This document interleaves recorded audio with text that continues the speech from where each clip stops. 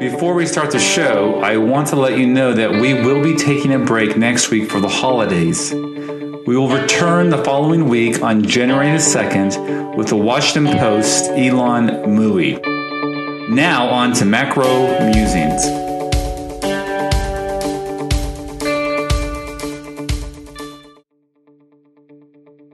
Welcome to Macro Musings, the podcast series where each week we pull back the curtain and take a closer look at the important macroeconomic issues of the past, present, and future.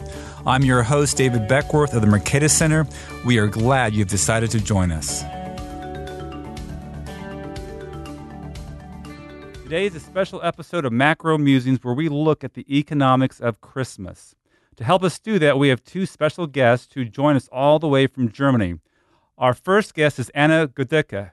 Anna is a professor of economics and quantitative methods at the ESB Business School in Reutlingen, Germany. Our second guest is Laura Birg. Laura is a postdoctoral researcher at the Center for European Governance and Economic Development Research, University of Göttingen. Together, they authored a wonderful article in Economic Inquiry titled Christmas Economics, a Sleigh Ride, that surveys and summarizes the economic literature on Christmas. Anna and Laura joins us today to discuss their article. Anna and Laura, welcome to the show. Thank you. Thanks. Well, we're glad to have you on, and we look forward to this conversation on Christmas economics, both the macro and micro side. Now, let's begin by asking, how did you get into economics? Let's start with you, Anna. Oh, uh, that's a tough question to start with. Um, I guess I'm. My background is my family. They are all science teachers, and the only thing I knew was I don't want to do uh, science, and I don't want to become a teacher. Um, and my idea was kind of doing something like economics or business. And uh, the way to university here in Germany seems to be different than in the United States. So even as an undergraduate, you do not apply at university. You directly apply to a special study program. So even basically on the last day of high school, you need to decide what you want to do. And I just simply didn't know what to do. Um, and there were just very, very few universities where you could choose as an undergrad business and economics. Mm-hmm. And that's why I actually uh, moved to Bochum, a city in the middle of Germany, um, and to study business and economics as an undergraduate. And then, kind of during your time there, you could actually decide whether you would like to become more a business type person or more the economist. And you might guess I found out I didn't really like business too much. Um, and then I found out I didn't like macro too much. So I ended up becoming a microeconomist. Oh, very interesting. Uh, how about you, Laura? What is your story? Well, um, in my family, uh, one part is physicians and the other part uh, are teachers. Mm-hmm. And um, somehow I uh, tend to combine that, uh, although I'm an economist, because I uh, also work in health econo- uh, economics and, um, well, I also teach. Uh, but my, my story is similar to Anna's. Um, uh, when I had to decide for field of study, I, I, wasn't so sure what exactly to do. And I, I liked the discussion of current political and current economic events in school. Um, what we uh, surprisingly uh, did most in, in, English class and um, history class uh, and less on like social science classes. Um, and I, I, thought that maybe political science, but also economics uh, could be interesting. And um, well, there were limited options to combine uh, those both fields. And uh, then I ended up, well, starting to, to study uh, economics and business administration, this uh, combination uh, in Bochum, and uh, social science on the other hand. Uh, and then, similar as for Anna, it turned out that I didn't like business as much, but also uh, I found that economics was more interesting than this social science part. Okay. Now, this article that both of you co authored and written is really interesting. It's a nice survey there's a lot of literature in the article that you survey about Christmas economics. So I know it took some uh, serious work to get it done. And I'm wondering, how did you guys even get on this topic? How did you come together? And then how did you decide to write this article on Christmas economics? Well, actually, it started with a seminar of mine. Um, when starting to teach in, in Göttingen, I uh, first taught a, a, master's seminar, and then I had to teach uh, one for bachelor students. And I thought, what would be an interesting topic that, well, all the students can relate to, even those in the second or third semester, uh, something where they don't need much prior knowledge. And actually, I, I asked my brother what would be an appropriate topic. And he said, So when is the seminar? And I said, In the winter term. So maybe November or December. And he said, So why don't you do a seminar on Christmas? And then uh, I started uh, to look for the literature, and I found that there's actually uh, lots of literature on Christmas related topics in economics. So there was some on health economics, there was some on uh, uh, prices. Um, uh, during Christmas time, there was, uh, of course, the literature on uh, the welfare effects of Christmas presents. Mm-hmm. there was enough for 14 topics in the seminar. yeah. So we can thank your brother for this nice article, huh? yeah. Yeah, and I would I would kind of say we Laura and I we met during our undergrads already, and um, I, we never actually co-authored any other papers so we knew each other for quite a long time, but we were more friends than actually co-authors. And uh, we used to have a strange hobby, kind of. We teach in a summer school for gifted children during the summertime. And actually, that's how I came into that story. It was kind of the next summer after Laura taught the seminar. And we spent our summer in this summer school teaching a micro class. And she told me about this research. And it was just hilarious. It was warm outside. It was middle of the summer. And we were talking about Christmas Hmm. And I guess it was that summer that we decided we should do something with that topic. And then the next summer, we actually then wrote the paper. Oh, very nice story. So let's let's jump into your paper, and uh, let's begin with the macro side of Christmas. And of course, as we've talked about before the show started, all macro is really micro if you want to get down to it. But we're going to pretend, at least for a few minutes here, that uh, we're looking at the macroeconomic side of Christmas. And let's begin with what I think some really fascinating work done by uh, Robert Barsky and Jeffrey Miron. and then there's others as well. Um, but they kind of started this literature, and that is on the seasonal business cycle. That everyone knows at Christmas time, sales picks up, you know, spending picks up. So tell us about that. Um, what do they find, and, and what are the implications? Well, I, I, think most of us know is uh, from well December that uh, the shops are crowded, uh, the shopping streets or shopping centers are uh, full of people. Uh, we all have these Christmas specific transactions, buying presents, uh, buying stuff for Christmas celebrations, maybe buying a Christmas uh, sweater. And um, well, it's interesting to see that this, well, individual experiences actually uh, becomes apparent in uh, macroeconomic time series. And um, so what this literature does is um, show that, uh, well, contrary to the uh, standard practice before to abstract from any seasonal variation, that um, wanted to show that actually um, uh, that there is a connection between uh, the seasonal uh, cycle and the uh, business cycle, and to show that they may also have the same underlying mechanism. Well, just to have a few stylized facts, it's uh, that literature that uh, shows that uh, actually having a seasonal dummy uh, may explain uh, very much of the variation. Uh, for example, 70% of the variation in GDP growth. Yeah, that's what's striking about this. So the original article from Robert Barsky and Jeffrey Miron was in the Journal of Political Economy in 1989 when they look at the period 1948 to 1985, if I'm correct, I was looking at their their paper a while back, and it's striking that most of the variation in aggregate economic activity or GDP comes from seasonality. That seasonality is this biggest kind of it's, it's like an exogenous shock that's regularly occurs. It comes from outside the system. Every preferences change into the year, and suddenly you have this this change in behavior and it's yeah it's interesting they measured it several different ways and they got this huge amount of variation being explained by this um, and it's mostly Christmas. Uh, that's, I guess, the additional thing. It's kind of you have the big seasonality. It's basically Christmas. You have actually a strong growth from the third to the fourth quarter, mm-hmm. and then, um, yeah, in the first quarter you see much lower numbers.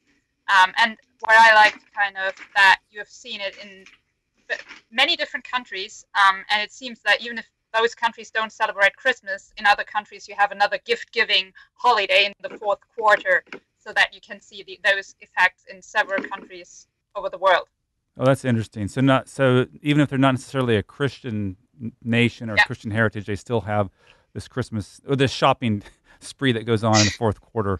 So yeah, and the thing is, and the other thing is, go sorry, ahead. The other thing was in, in, in summer, actually, you can see for Northern European countries, we tend to go on holidays or on vacation more often than other countries do. That we you can also see a seasonality in summer, at least in Europe. Fascinating. And the thing is, it's it's it's this fourth quarter spike is huge. I mean, he mentioned, and they mentioned in the papers that the the, uh, the increase is is significant. I, I forget it was like five percent or six. It's it's yeah. it's much larger than than typical. And the downturn, actually, the downturn is in in January. So in January, the first quarter, there's a real sharp contraction.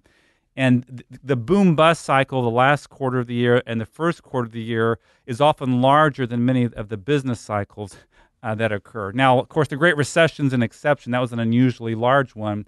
Um, but if it's understandable if you go through mo- you know, most of the time series, at least with the U.S. history, that you see these seasonality effects. And I was just tinkering around with it. I went and looked at some of the data, and unfortunately, um, the Bureau of Economic Analysis in the U.S. quit producing the um, non-seasonally adjusted GDP. But I, I, learned in my, my, my search that they will be releasing it again in the future. But you can look at other things. I looked at uh, retail sales, and you see the, the, the seasonal effects are huge. I mean, they're they're very large.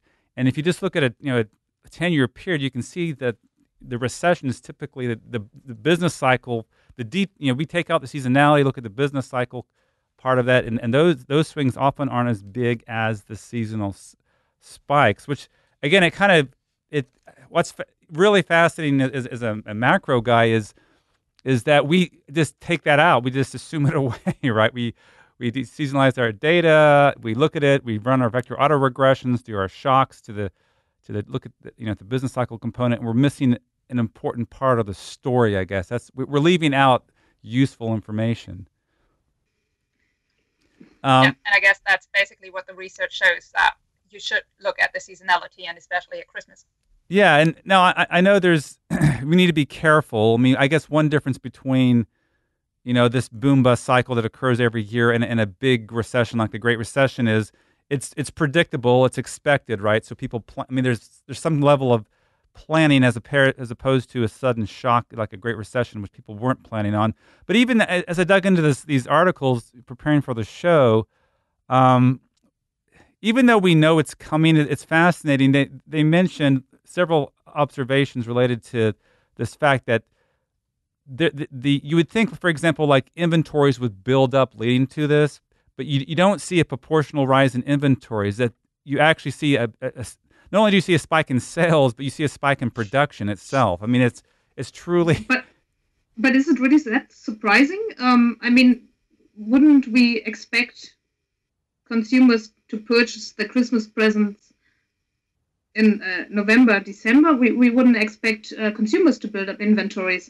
And maybe with respect to uh, the industry, um, maybe some of the, the Christmas presents um, also follow some trends and some current fashion.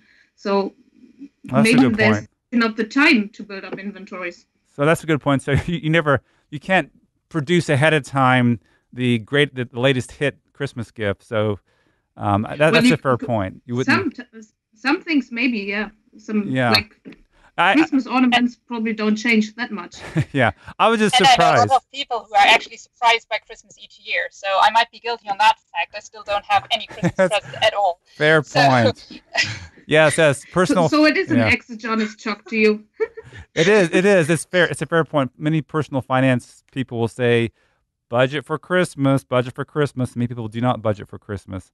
Um, but it's, I, I, guess, what's also fascinating if you want to take a, the, from the perspective of what explains business cycles. There's different theories, right? There's real business cycle theory. There's kind of demand side driven Keynesian or monetarist theories. And and this one here, there's it's truly it's it's it's exogenous, but it's it's this pickup in demand that's accommodated by the increase in production. And I guess what's also fascinating about it, so you have this increase in spending, and and you know Barsky and and Miron they they show that prices remain relatively sticky. You don't see as you see more change in quantities than you see in prices, right? So this so again kind of a microcosm of, of business cycle debates we're having in the sense that you have this big demand exogenous demand shock um, prices are sticky so real gdp picks up in that that fourth quarter um, it's it's kind of like a little I, I i think of it as like a little laboratory and the other fascinating thing they point out is that well several other things labor productivity also goes up in in the fourth quarter um, so they people you know they keep the same relatively same number of folks and then there's this this productivity picks up, and there's some additional hiring as well. But that was fascinating. And finally, they, they mentioned like money. You know, money. There's a seasonality component to money as well um, that that occurs. So there's a, a, whole area there, and I know there's been some other work done, but it seems to me kind of an under um, researched area. There seems to be a lot of interesting work. Now, you you do mention in your article some other articles. Uh, you mention when Yi Wen, and he's he had a, an article you cited, The Business Cycle Effects of Christmas, and this was the more recent one. This is in 2001 in the Journal of Monetary Economics. And you know, he goes and, and, he tries to make the connection between um, these seasonal effects and the business cycle. Um, any anything interesting there you want to speak to? I guess it's kind of a bit more in the first Miron papers, it was more you have a correlation. So it was already in the first papers that they say say okay, there seems to be at least a correlation between business cycles and seasonal cycles. So those countries who have strong seasonal cycles also have strong business cycles, but that was more a thing rather than having a real explanation for it. Um, so they only refer to a correlation and they say there might be the same propagation mechanism for both types of cycles. And the more recent Wen paper actually tries to actually find some more statistical reasons or better proofs that you actually see that. And it's not too different from the older Miron papers. He actually found that the seasonal shocks explain approximately 50% of the business cycles. Um, so it's actually a strong finding based on better econometrics, basically. Well, that's that's great. And again, once the BEA starts publishing this this data, it'd be nice to see some maybe some more research done on that. Um, I found that another short little piece by Yi Wen. He's out now at the St. Louis Federal Reserve, and just I'll just mention this in, in passing. He he looked at you know this idea that there, has been this great moder there was this great moderation in macroeconomic activity. So from at least in the U.S. from 19 mid 1980s up until 2007, right before the Great Recession, you see volatility in GDP and these macro measures tend to sta- stabilize. We call this a great moderation period. And and he he and again he, he says we're looking just at seasonally adjusted data. What happens if you look at non-seasonally adjusted data? What happens to the great moderation then? And it's interesting that you see a similar moderating effect on on the seasonal uh, spikes. They're still there. They're still relative to the you know the overall level. They're still important. They still explain a lot, but everything moderates. In the trend growth moderates as well as the seasonal part moderates as well. He takes that to mean that there was because people try to come up with an explanation. Why did we get the great moderation? Was it better, you know, monetary policy? Were we just lucky? Was there some kind of structural change through technology, just-in-time inventories? And he he thinks that the, because the seasonal effects are also small, there's got to be some kind of structural change that occurred during that period. So a very fascinating uh, uh, discussion there on you know the seasonal business cycle and the link and, and i think there's a lot we can learn from that and a lot to still be done uh, you, you also mentioned in your paper um, about the, there's a relationship between the length of the shopping season um, and and and the strength of that fourth quarter effect so can you talk about that yeah sure so um, i guess that's a very much an american thing um, so okay. to be honest we don't have so we do celebrate something that's Thanksgiving or a harvest festival. I think you have it in several Christian countries, but by far not to the extent you have in the United States. And in our case, it's we celebrate in October already. Um, and we do not have this idea here of having a dedicated shopping season, which seems to be in the United States between Thanksgiving and Christmas. Mm-hmm. And the, as far as I understand, or my understanding of what I read, is that even in the United States, Thanksgiving has not always been celebrated on the fourth Thursday in um, November. So beforehand, it was always the last Thursday in November. Um, but actually, it was Roosevelt who decided that you should have it a bit earlier, just to have a longer Christmas shopping season. Um, and then he kind of switched it to the fourth um, Thursday in November, not the last anymore. Um, and um, then you have your Black Friday. I still don't really know why Americans call it Black Friday, but you don't see something like that here in Europe. And then you seem to buy all your Christmas presents in a very, very short time frame. Mm-hmm. And the question for economists is basically, um, does that have an influence? So whether you have more or less days, do you actually spend a fixed amount of money, um, maybe more tinily over a given longer period, or do you actually increase consumption just because you have more days uh, to spend your money? And the interesting uh, finding, at least for me, was that even each day you have more between Thanksgiving and Christmas actually does increase the sales.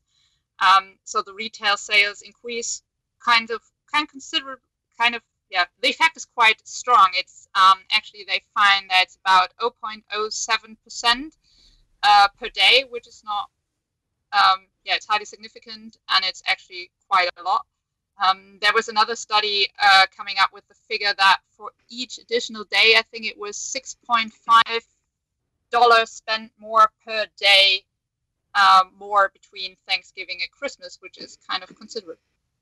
Yeah, so it's it's fascinating, and it kind of speaks back to this kind of this preference, this exogenous change in behavior, a preference shock and depending on when the holiday was set, you you you open up that preference shock earlier, you you trigger it earlier, um, and it, I guess it makes kind of for nice, almost like a natural experiment, right? You can you can see based on the different days uh, when it when it when it actually falls. Um, so that's that, that was really neat to read about that, and you know along those lines, you mentioned also a paper by I guess it's Casey, it's Mulligan, 2011, and, and he found that you know, whether we're in a recession or not, you still have these seasonal effects, which again speaks to the maybe the strength of this this exogenous preference shock or change to to increase shopping. Um, very interesting. And and even employment. So they don't only find it for um, yeah more sales. You also see higher employment even on an aggregate level. So it's not that it's just retail mm-hmm. employees number increase, it's actually a large one, and you also can see it in January. Um, so it has a huge effect. Yes. And it actually does seem that people spend more. Uh, just to pick up that uh, uh, question meant earlier, whether they, uh, people spend the same fixed amount over a, longer time period, or if they just spend more. Because this uh, other paper uh, Anna mentioned from uh, Basker shows that people indeed spend more, which might then imply that they spend less in January, which does not seem to be the case, uh, in fact. But um, or if they then just reduce the savings. Yeah. So again, I think these are great findings, great great uh, things to know about when we're thinking about broader business cycle discussions. You know, do what happens to there's demand side shocks or supply side shocks to the economy. Now, you also bring out something I have to throw in there, and this is kind of maybe half serious, but you, you, the, the way I'm going to frame it, it's a serious finding, but my, my question is going to be kind of ha- joking. But uh, you also find, or the literature finds, that there's increased alcohol consumption during the Christmas season, right? So people pick up their drinking, and uh, you know, so I'm I'm just wondering. I'm, again, this is where I'm getting a little less serious you think there's any link between the you know the lubricating the social spirits through alcohol during the Christmas season and the pickup in optimism and spending during the holidays? But maybe it's just here, because you. Sure. Yeah. Sorry, Laura, go ahead. Oh, go. You go ahead.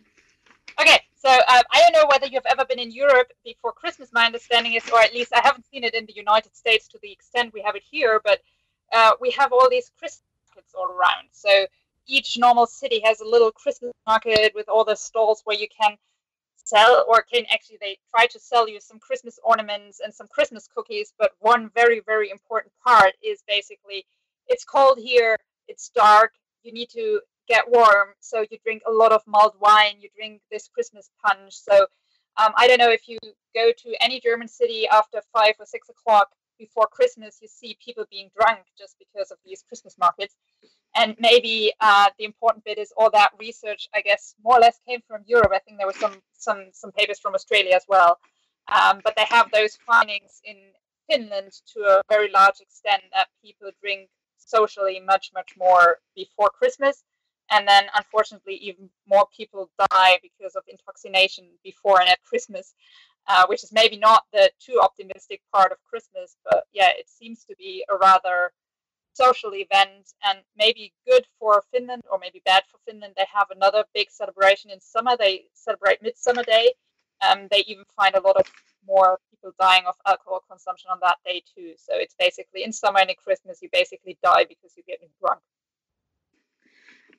Well, coming back to this paper on the variation in the length of the shopping season, uh, this actually finds that people tend to spend uh, less money on liquor uh, in January. So maybe it's that well peak in consumption in December that induces them uh, to reduce alcohol consumption in January again, or maybe it's just New Year's resolutions, which may also be linked to the increase in yep. consumption around Christmas. So they're sobering up and trying to get their act together after uh, living large.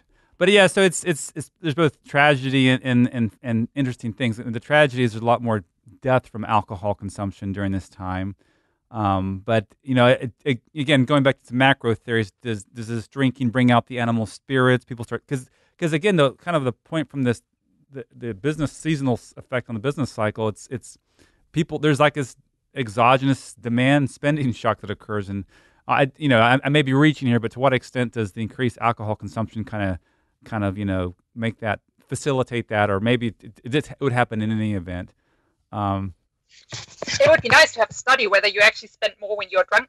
Uh, but I don't know of any. So maybe yeah. that would be something you should look into. Do the or the willingness to, yeah. to buy something higher the more alcohol you you drank before? I don't know. Uh, I imagine uh, the stylized facts confirm this. we'll have to find some kind of natural experiment to do that because I imagine the review boards at different places would have a hard time.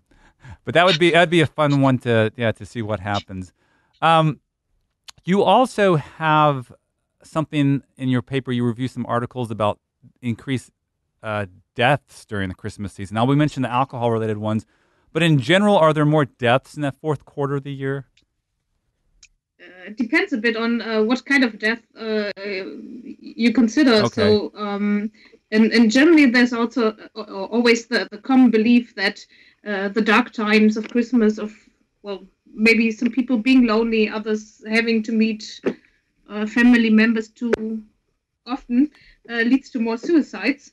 Um, but in fact, the literature shows that there's not an increase in suicides, but there are in fact less suicides before Christmas.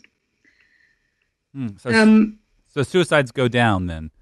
Yeah. Yeah, but unfortunately they go up at New Year's Day. Um, okay. So less suicides. So maybe you spend too much time with your family and then um, you commit suicide on New Year's Day. But yeah, at Christmas going down in several countries. It seems to be a rather strong fact, but it's increasing in New Year. So it goes down Christmas time, yeah. but right before the New Year. It... Well, actually, it's New Year's Day. New Year's Eve's still low. New Year's Day, it's going up again. Okay. I was wondering if there's any kind of tax benefits or any kind of tax incentives going on here.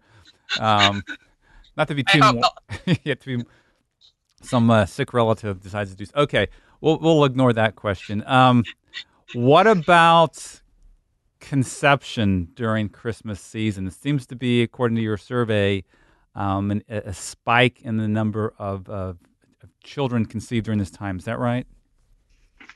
Yeah. Um, well, um, what the literature finds is that uh, there's actually a, a, high number of conceptions uh, occurring in December, which then implies that there's a peak in the number of births uh, in September and the following year.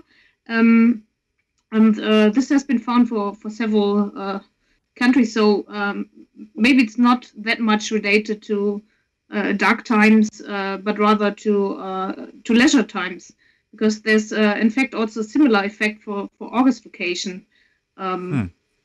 and there's a, uh, another peak in conceptions uh, in August and a, a, peak in birth uh, in in May then. Um, but I I don't think it's uh, that much about um, planning more children. Uh, it's rather about having more sex because there's also uh, an increase uh, in the sales of condoms in December and an increase in the termination of uh, unwanted pregnancies um, hmm. around December. And and you think it's tied more to there's there's more leisure time around. It's not necessarily related to Christmas per se. Just people have more leisure, more time on their hands. Uh, yeah, maybe not right before Christmas. So it's uh, probably a stressful time for most of us, but maybe around Christmas and the days Okay. Yeah. After they're they've been drinking for a few days, they they been lubricated and they they start uh, conceiving children. Now, this is of course maybe a good thing, right? For the for for the Western economies, Europe, the U.S. We need you know our labor supplies to grow. we need um, uh, support our our welfare states that are being underfunded in the long run. So we should be happy for this holiday conception shock. We'll call it that. Okay, let's Let's move on to um, another fascinating area here, and this is where you guys can can shine as microeconomists. Um, well, you've already shined as macro microeconomists, but this is really getting into the microeconomic literature debate, and this is the deadweight loss of Christmas. So there's a huge literature on this, and uh, this I think for many people this will actually come close to home because we've all had this this angst about getting gifts and exchanging gifts on Christmas, and not getting what we want or giving the wrong gifts. So tell us about the deadweight loss uh, literature, what it tells us. So maybe you can start. What was your, the worst Christmas gift you ever got? Well, I don't want to get in trouble in case someone's listening, but I, will generalize here. How about this? We all get the certain, you know, we get a, a shirt from someone that's really ugly looking and or we get you know some something we don't really need we get another tie. I, am sure you you probably have a, probably a better story than i do so why, why don't you take a swing at that? Okay so so maybe just to give you the general idea as you said we all know these christmas presents we got and we just never used we just throw it away the next day. And uh, it was actually Waldfogel it was already in 1993 that he I don't know, he started to think about Christmas and he said, well, maybe we have a problem here as economists. So um, normally if you buy something, let's say you buy your Christmas sweater or something like that, you just buy it if your willingness to pay is actually higher than the price. So you would not buy anything where your valuation for the good is actually lower than the price. And that's what we as economists or microeconomists call the consumer surplus. So the difference between the price and your willingness to pay.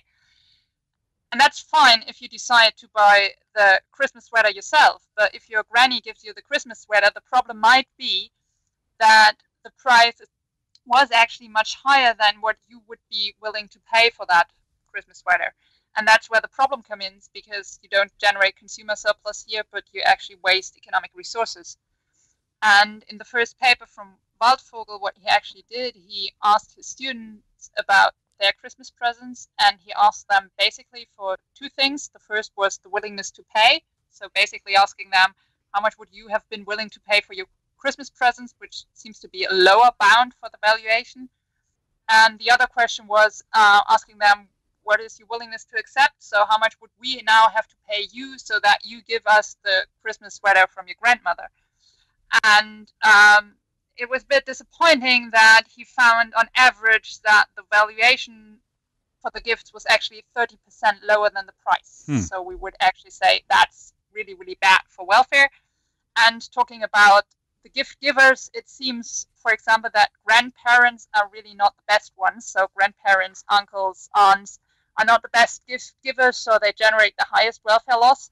Uh, friends and partners seems to be much better in finding appropriate Christmas presents and the very yeah pragmatic um, solution of an economist would be just give cash. Because when you give them cash it's maybe very impolite but nevertheless you can just buy what you want to buy. And it seems that um, people understand kind of whether they are good gift givers or bad gift givers because grandparents seem to give more cash because they kind of understand they don't really know what to give and therefore their share of uh, cash presents actually much higher than for other gift givers. And as you said, it's a huge bunch of literature. So that was the first paper, and you have several other papers by Waldfogel actually doing um, similar um, things, and he always found more or less welfare losses. Um, there were other papers who focused more on the willingness to accept. They found welfare gains. So the crucial part seems to be actually to understand what is actually the valuation for the gift you got. Um, and in some studies, you find a welfare loss, and some you do actually find a welfare gain. Yeah, I mean, I guess the, the tension is, and this is, you know, for example, uh, you know, I, I, will disclose my mom, you know, likes to say, hey, it, but if I give cash, I didn't put any heart into it. I didn't, you know, doesn't mean as much. Doesn't, you know, doesn't isn't as thoughtful. I didn't go around and shop all day looking for a gift for you. And um, but the, the flip side of that is you get something you don't want, and you have this deadweight loss. The world would have been a better place. Now, let me ask this question. There are some gifts, though, you probably don't want to do in cash. So if we all agree that, okay, let's exchange cash, right? There are some things, for example, if I had proposed to my wife and gave her a bunch of cash instead of a ring, I don't know if that would have gone over well. What do you think? yeah, or if you want to give a Christmas present to your boss and you just give him cash. It's, it's yeah. just weird. There, there are just some, some, some social things, but I must admit, in some cases, some presents I got, um, I don't know whether a very strange gift or cash what would have been worse. So um, sometimes the question is what's even worse, giving gift, giving cash, giving a gift, or giving nothing. Yeah. So what advice do you do you give to all our listeners, and how would you summarize the literature? What what would you tell them to do, under what circumstances should they do, like cash or gift cards versus actual gifts? Um, um, there's one paper from Flynn and Adams, which I like quite a lot. That what they found is that um, we are most of us um, are gift givers and gift receivers, although we seem not to be very very good in actually estimating how important actually the price of the gift is. So their suggestion is just give smaller gifts because we overestimate actually the prices of the gift. So your your mother will be maybe as happy with a smaller gift or less expensive gift uh, than with a more expensive gift. And furthermore, you won't create such big welfare loss. So just focus on smaller ones and just think about how good do you know the person, and it might be your boss, and you have to come up with a Christmas present then just stick to the normal things. So just a bottle of wine or a box of chocolate, just the more mm-hmm. standard ones that might be a good idea. Or our suggestion um, is just come back to wish lists. Um, even if we used to do that just as kids, writing a wish list what we want to have, it might be a good idea within a family to actually have such a wish list and then don't create a welfare loss. Very interesting. Well, there's another paper that says that uh, gift giving can be optimal if it reduces search costs, and uh, so maybe in some cases, um, gift giving can be optimal if you uh, make some presents where, well, maybe some people don't want to search uh, for themselves, or maybe even of some things they don't even know yet. Uh, I mean, uh, if I know that someone likes likes reading a specific type of novels, and I know a novel, then uh, maybe that person uh, likes uh, being uh, being introduced to that uh, novel because he or she didn't know it before. And if I think of some of the presents my parents gave me when I was a kid, um, I think it was very much related to reducing the search cost for these specific things um, not for me, but uh, for like going shopping with me. Mm-hmm. So I think buying socks for me um, is easier than uh, buying socks uh, when I'm around. Okay. So have you guys incorporated this into your own gift giving, your own Christmas experience? Do you, do you practice what you preach? As I told you, I don't have any Christmas presents yet. So uh, my nephew, my, my, nephews will get some Christmas presents. That is kind uh-huh. of easy. They are kids; they like it. Uh, what, what is more difficult to me, for me, is actually I try to convince people not to give presents to me. Um, I wasn't always successful with that, but mm-hmm. sometimes mm-hmm. I'm just thinking, please don't give me cash, don't give me any presents. Um, I'm happy just to be around with you, but just forget about them. Yes. I, have asked people for wish lists, um, but uh, well, unfortunately, I haven't provided a wish list uh, for myself so far. Yes. Well, speaking of charitable giving and, and gift giving, let's let's segue into something else that's um, interesting. And what happens to charitable giving during the holiday season? Do you have some articles you cite on that? Um, this also seems to uh, increase uh, before Christmas. Uh, so it seems to be that uh, people are more generous before Christmas. Um, this one paper who uh, analyzed that for uh, church donations, and um, well, they, they actually had a, a different focus. they had a focus on the, the crowding out effect of 1st mm-hmm. and second donations. Um, but they find that in general, church donations are higher around Christmas when also maybe attendance in church is higher. Um, and uh, also the literature on tipping finds that uh, tipping is uh, or that higher tips are given before Christmas. Yeah, this you know you've you've heard the uh, of the CE Christians, right? The Christians who only go to church on Christmas and Easter.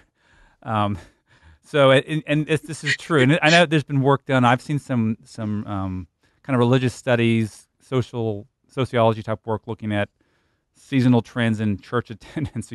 Yeah, I, I was aware of that. But the charitable giving one's also fascinating because, at least in the U.S., there's a tax incentive to give in December. Um, if you do charitable giving, you know, by the end of the year, you get to write it off the next year, you, or you deduct it the next year. And uh, I will confess, um, I have been guilty of maximize. You know, if, if if I have something to give, I'll make sure to give it before the deadline crosses. You know, I make sure to um, make that extra donation at my church or whatever it may be, just because I know there's a tax benefit. So I, am come, I'm having a confession here of sorts, but um, I wonder to what extent, if, if, if that's been looked at, do people look at is are any of the is the increase in charitable giving truly from the heart, or is it in part driven by you know tax incentives?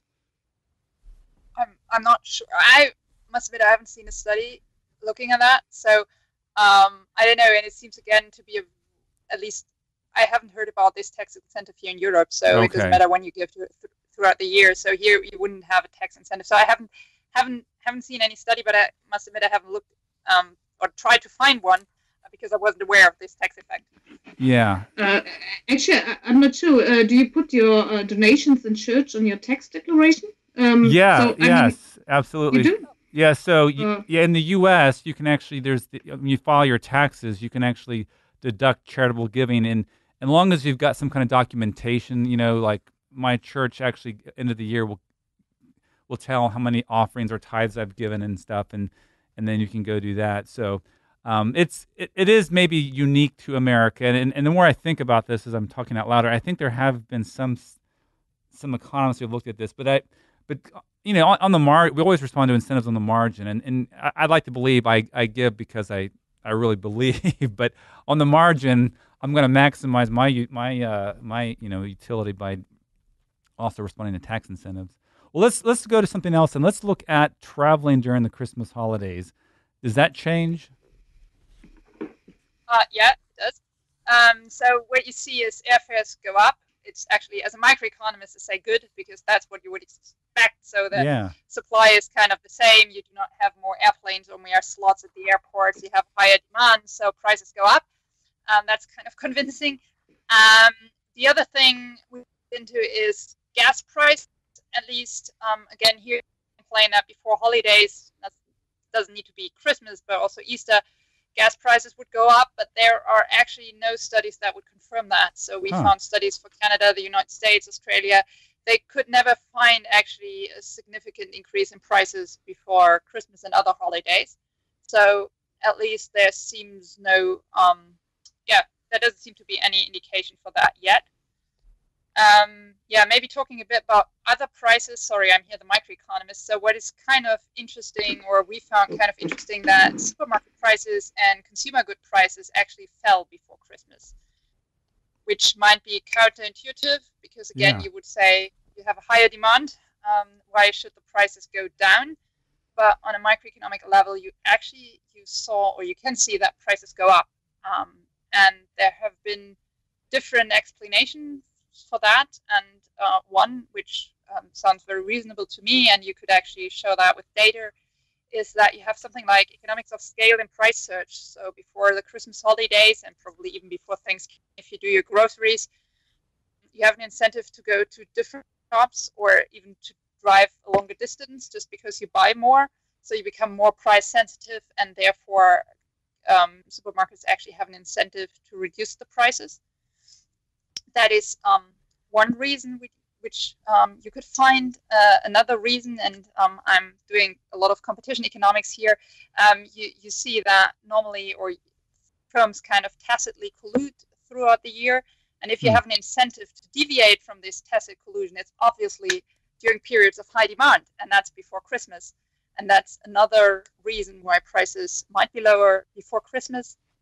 And the last one, which might be interesting, is that um, you see that when you look actually at brand level demand, that people switch from branded products to non branded products before Christmas or other holidays basically before because they have a limited amount of money and they are getting more price sensitive and so they basically buy the cheaper brands or the non-branded products before christmas so on average it seems that the prices seem to fall fascinating yeah that is kind of uh, counterintuitive at first but these are interesting explanations you've given and, and it reminds me of another point you guys make in your paper or uh, literature you survey and you mentioned this, and, and many of us probably can speak to this firsthand, personal experience, is that sometimes we have these these hot toys, these these popular gifts that sell out during Christmas, right?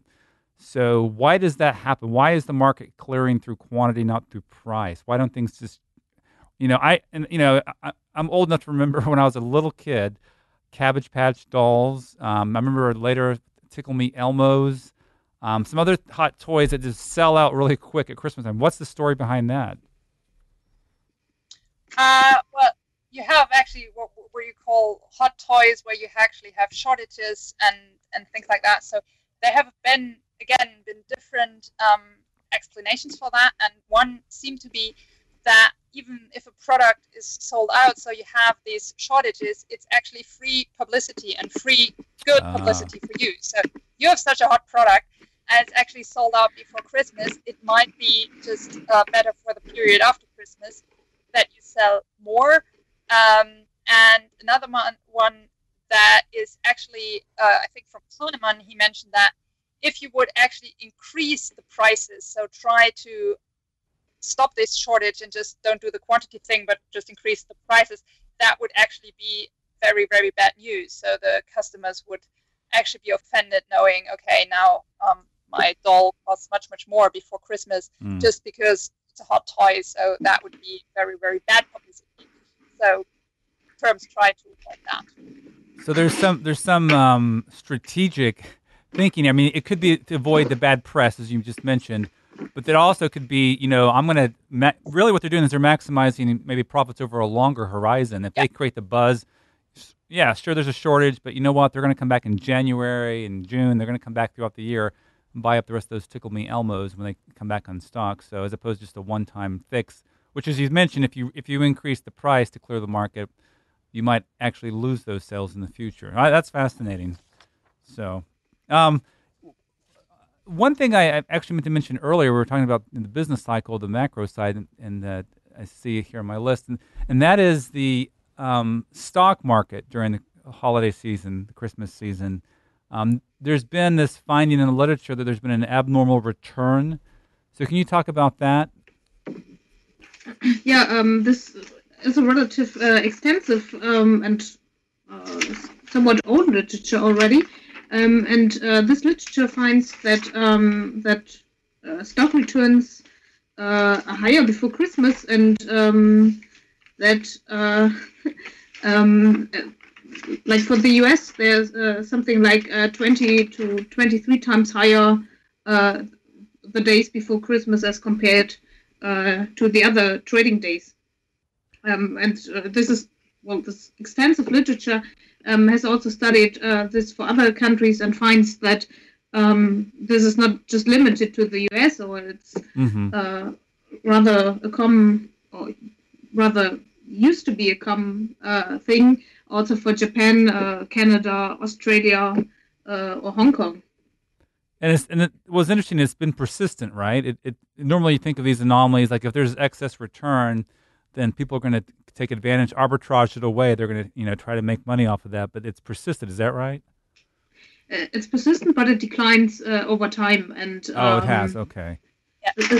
so there's uh, actually one study um, who uh, actually focuses on this um, time trend uh, of this pre-holiday effect, and uh, that literature finds that it's that in, in the US and the UK uh, it's decreasing over time, and uh, that there's actually been a reversal at um, uh, one time period in the US where there were actually lower returns before Christmas.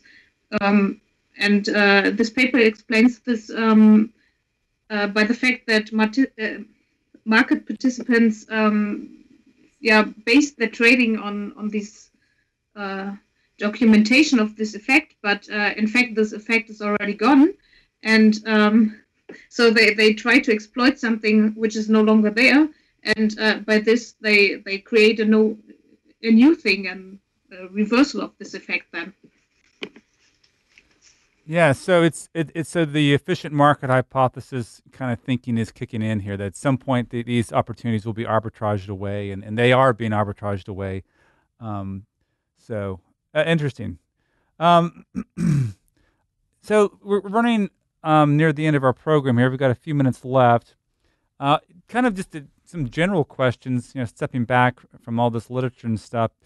Do we see any evidence um, that you know, as, as some parts of like Western Europe, the U.S. to a lesser extent, they're becoming more secular. Um, there's still a lot of religious, you know, activity and religious participation in the United States, and I'm sure in Europe as well. But do do you think, or is there any evidence that would suggest that as you know, as as the advanced economies become more secular, there's going to be less Christmas activity? Honestly, I'm not not sure. I haven't seen anything, and um, at least my understanding is um, that the Christmas celebration, at least my, my impression here in Germany, is it is not um, to that extent um, a Christian celebration anymore. Mm-hmm. Um, so you might know that in East Germany, um, the number of Christians is quite low. Nevertheless, they celebrate Christmas to a large extent. Okay. Um, so um, I'm not not sure whether that actually. And as you said, you had this nice term for the ones only going to church on Christmas and Easter. Um, so I'm not not sure whether uh, actually yep. the economic background or the economic um, changes or there will be any economic changes just because the people go to church less often or anything like that. Okay so it's become more of a more of almost like a, a, a, holiday that's that's celebrated despite you know what people think about religion. So on balance, do you think Christmas is good for the economy, and both from a short run perspective and a long run perspective? What are your thoughts? Oh, that's hard to say. Um, I wouldn't want to conclude here. Um, mm-hmm.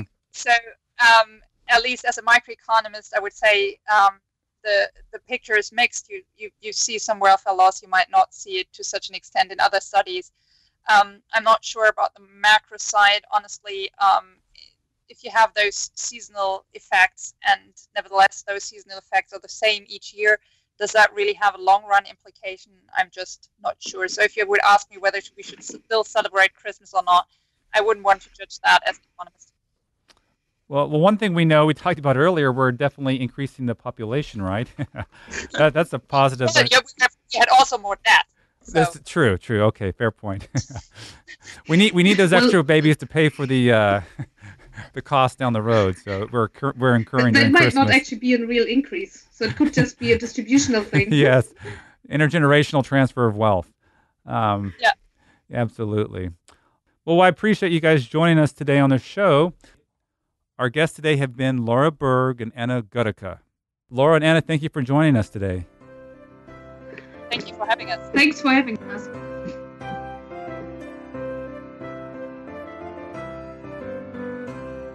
Macro Musings is produced by the Mercatus Center at George Mason University. If you haven't already, please subscribe via iTunes or your favorite podcast app. And while you're there, please consider rating us and leaving a review. This helps other thoughtful people like you find the podcast. Thanks for listening.